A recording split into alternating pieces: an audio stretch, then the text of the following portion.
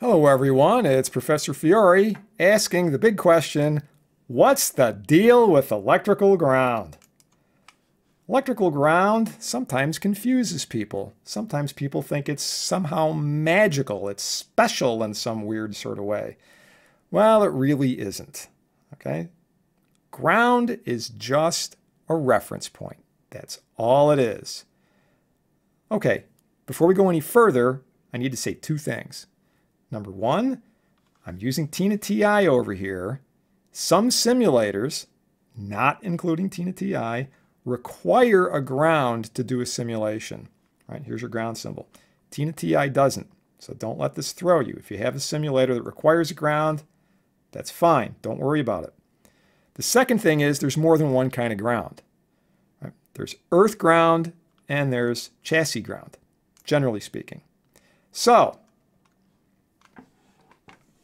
we have, right, an earth, this is the earth ground symbol over here, which literally refers to earth, terra firma, the thing you're standing on. There is also a chassis ground. That's the symbol we typically use for a chassis ground. In other words, the case of something. Sometimes you'll see a, a system common, which is drawn like this, little, little triangle, all right? What are the differences, he asked. Well, think about it this way. If you have a portable device, cell phone, right, you don't have an earth ground. How do you connect it back to earth? Why would you? What would you do about uh, the electronics aboard an airplane, the avionics package? You're going to have a big copper cable spooling out the back of the airplane as you're flying across the country? Don't think so. So, what do we do in, in that case? All right. Well, earth ground is really a safety feature. So in North America, if you look at the uh, AC plug in your house, right, that round one, that one round one, you got the two dashed ones, you got the one round one, that's earth ground, and that's there for safety reasons. So you most likely are standing on Earth or something connected to Earth. You don't want to touch something that's not at Earth ground because then there's potential difference and you get a shock. All right. So usually the chassis of something, you know, that's plugged into the wall is connected to Earth ground. All right. Devices, anything, you know, your the chassis of your uh, home stereo, right? Uh, you know, a lamp, whatever the heck it is. It's there for safety reasons. Ultimately, that lead goes back outside and is connected to real live earth, ground, right? Real live dirt, okay? So normally it's actually connected to a cold water pipe, right? Or you might have a large copper stake driven into the ground, but either way, you have a good earth connection. So that's a safety sorts of thing. But when it comes to portable devices that aren't connected to ground, earth ground, right, we have this idea of a, of a chassis or a system common. So it's really ultimately just a, um, a reference point that we compare other voltages to. Remember, voltage implies two points. It's not like current. Current's a rate of flow. So that's at a point, right? You can cut open a wire and say, well, the current at that point is so many amps.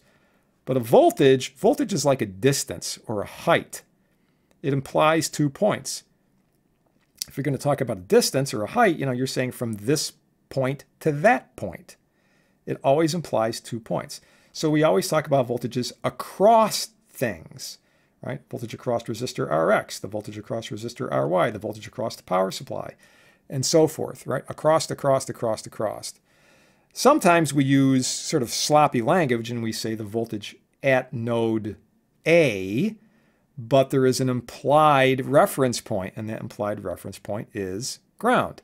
So I'm going to walk you through this and show how this whole thing works. So let's start with our little circuit over here. All right. So we've got a power supply and three resistors.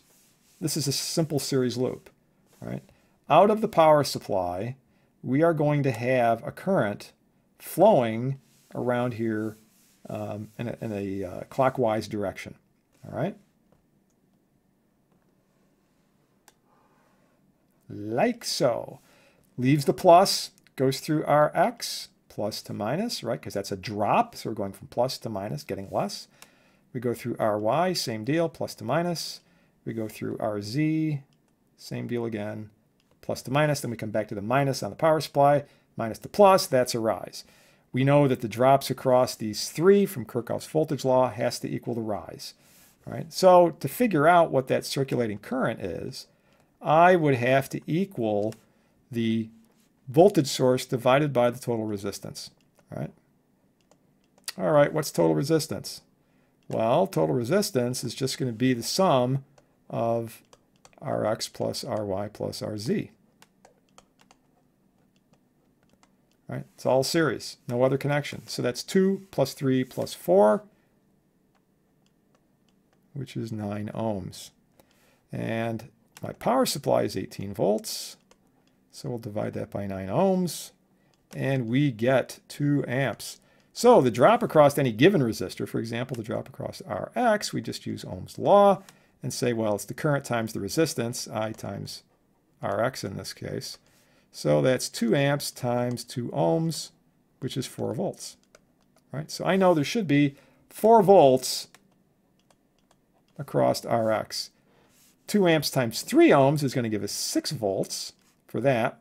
And then 2 amps times 4 ohms is going to give us 8 volts for RZ. All right? Okay, nothing magical there. Didn't even use the ground. The ground is over here, not connected to anything. Okay? Very often this is what you would see in your in your DC book, right? The very first thing you, you look at, you know, they might have a 9 volt battery or something like that. Couple of resistors. You can do a calculation. No grounds to be seen. All right, let's do uh, a, a, an, an, an analysis a DC analysis over here.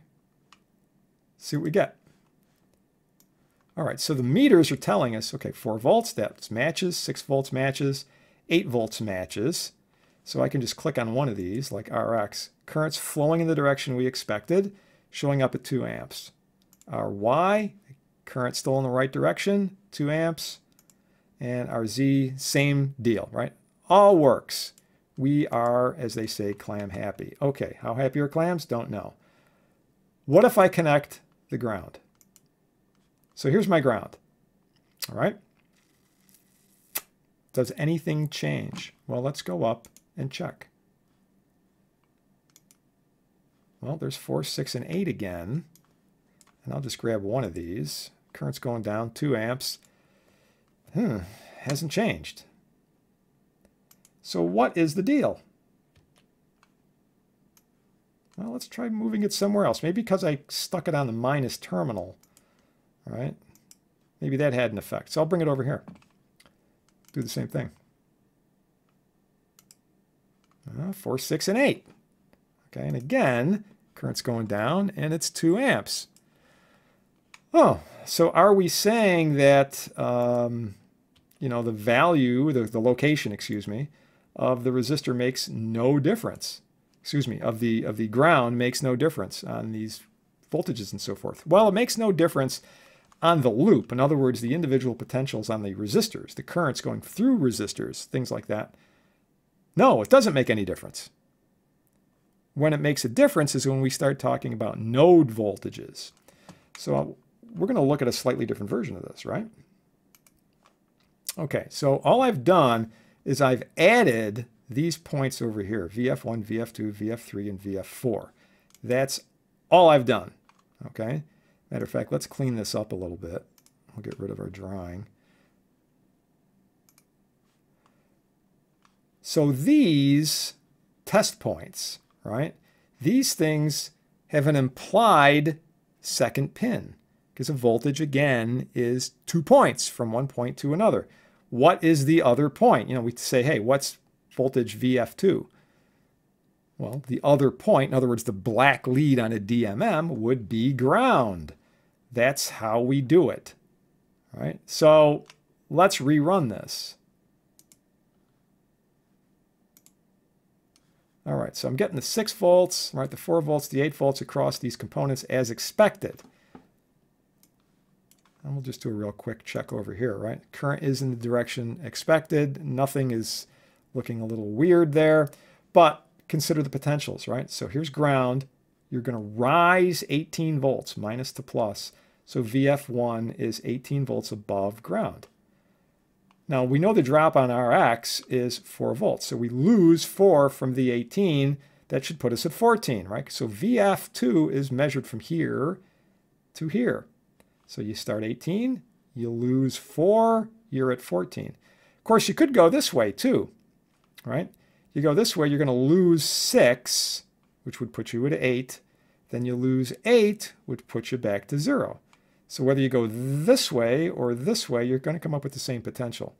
Right? So here, you know, you're, you're going to go down 6, you're going to go down 8, that's 14. Here you're actually going to go up uh, 4, because remember your drop is plus to minus this way. So going minus to plus is actually a rise. And then you go down 18, right? So you're still looking at a 14, uh, 14 volt change, right? So if you go from ground to here, you go up 18, you drop 4, burp, you're at 14. You go this way, it's minus to plus 8, minus to plus 6, right? 8 plus 6, 14. Either way, however you want to do that. All right, now the fun bit. Let's go and move ground. I do not wish to imply that this other stuff is not fun, because certainly it is. Let's do that same analysis. Okay, so we still have the uh, six, uh, excuse me, yeah, the six volts, the four volts, and all these other good things, okay, on the resistors. Um, but these things like VF2 and VF3 and VF1, these are not the same. What's going on?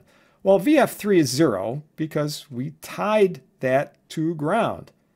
So the difference between VF3 and ground is nothing because VF3 is ground. But the negative side of the power supply is at minus 8. And the top side of the power supply is, 18, is not 18, it's 10. So this can confuse people, right? So, but again, you know, just just to be persnickety about it, look, there's the currents going in this direction as expected, and it's still 2 amps. That hasn't changed. We've just changed where we're putting the black lead of the DMM. The reference point is different now. So if I'm starting here at 0 and we lose 8 on Rz, losing 8 from 0 is minus 8 volts. VF4 is at minus 8. Now we climb up, we rise 18 from minus 8, that puts us at plus 10. We lose 4 on Rx, so 4 from 10 is 6. There's a 6 volt drop on Ry, so 6 from 6, and we're back to 0. All right? What I'm calling my reference point has changed. So finally, I can move this over to here. I'm going to put this at the top of the power supply and see what happens. All right, again, the 4, the 6, the 8, hasn't changed. All the potentials at the nodes, though, are negative except for VF1. Well, VF1 is zero because we tied it to ground. But now it's all drop, drop, drop, drop, drop. All right? Lose 4 volts on RX. You're at zero. So you're not climbing anymore. You're going downstairs instead of up a ladder. So lose 4, minus 4. Lose 6. Lose 6 from minus 4, you're at minus 10. Lose 8, right? and you're at minus 18. It's still 18 volts from the negative to the positive on E. It's still an 18 volt rise. You're going from negative 18 up to zero. That hasn't changed. All we're really doing is playing with our reference point. That's it. So ultimately, that's what ground is. Ground is just the reference point. With DMM, that's where you're sticking the black lead. It's just that simple. So yes, I know we say things like the voltage at node 1 or node A or you know, node X, but that second point is always implied. In this case, it's going to be ground. All right. So you can't really talk about you know something like VF2 or, or VF3 if you don't have a ground. And I said at the outset that um, Tina will still simulate. You know, so what happens if you if you try to get something with this? Well, it's just going to assume where ground is, basically. And it might be where you want it to be, but it might not be. So bottom line, even though Tina will let you do this, hook in your ground. All right. So yeah, you got all these things. Where is my ground? Well, in this case, it's actually assuming it's right here. But it doesn't have to. It might assume it's somewhere else. Okay. Um, you know, I was talking at the outset about that those whole no number things with, um, you know, your your uh, usually ground in a in a simulator is going to be is going to be um, node zero. So this just sort of numbers things for you. There's so there's zero. So you know that's ground. That's what it's treating you as as ground. All right. But like I said, it might not be that way. In a different circuit, you know, your ground might be over here. Um, if, if you have it connected it. So be smart. Connect your ground, even though it doesn't literally need it. Do it. That way all of your node voltage are guaranteed to come out the way you expect them to be. Okay? So ground is not magic. It's just a reference point. That's it. But you need to know what your reference point is. Okay? Great. Questions? Put them in the comments. Take care. We'll see you later.